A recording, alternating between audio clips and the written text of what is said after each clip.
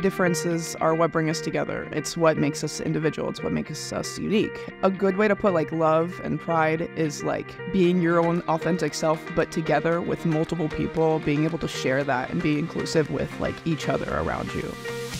Pride is not just directly about uh, the LGBTQ community, but just being open and honest about the things that you feel and think, regardless of where you are. The Mandarins as a whole are a group of people that are already very diverse. It's very easy to open up about things that you think about or feel without being offensive.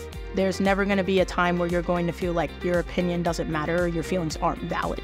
The staff here are so forgiving and so, so, so, so positive. They know where you came from and they know that they were there at some point. So that compassion is very present throughout the entire staff, regardless of how old you are. I've marched before this at other places, and this is probably the most inclusive corps I've been to.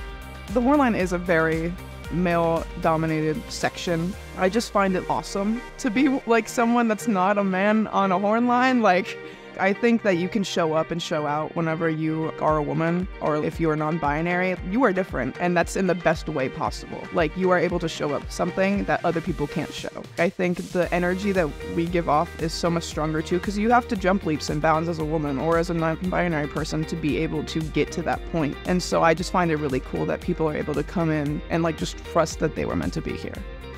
For the leadership side of things, we are there to make sure that when you're on the field and when you're off the field, you feel that you are part of this team. The staff just reinforces that when they're teaching, even when they're not. Honestly, anybody in this corps could talk to staff and it would be like talking to your uncle or you're on. It's just that type of vibe, it's that kind of energy, and it does not work if you do not feel safe, and the leadership knows that, staff know that. I think just being conscious 24 7 how others are feeling and how we're working together as a team in leadership and in staff is how we make sure that everyone feels supported.